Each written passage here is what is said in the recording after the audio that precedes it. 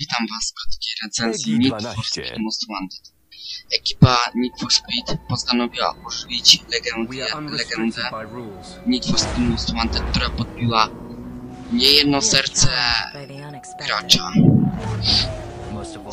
Pierwsze co widzimy, lepsza o wiele jak na tamte czasy, co była grafika.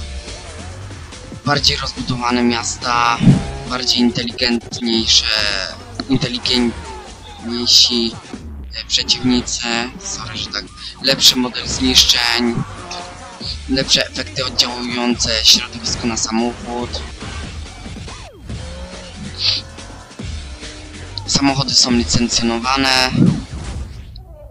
No, ogólnie zapowiada się wszystko fajnie. Zobaczymy jak trafi do sklepów i no i jak będzie się grało w to. Jednak e, już nie, odniesz, nie odnoszą takiej, nie będzie to taka, taki Need for Speed Most Wanted jak dawniej. To już tego się nie da.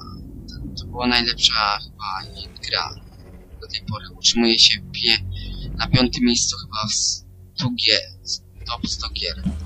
Premiera 1 listopada. Zapraszam do kupowania i oglądania moich filmików. Może nagram Zagrajmy w to, nie zobaczymy. Najpierw to muszę zamówić.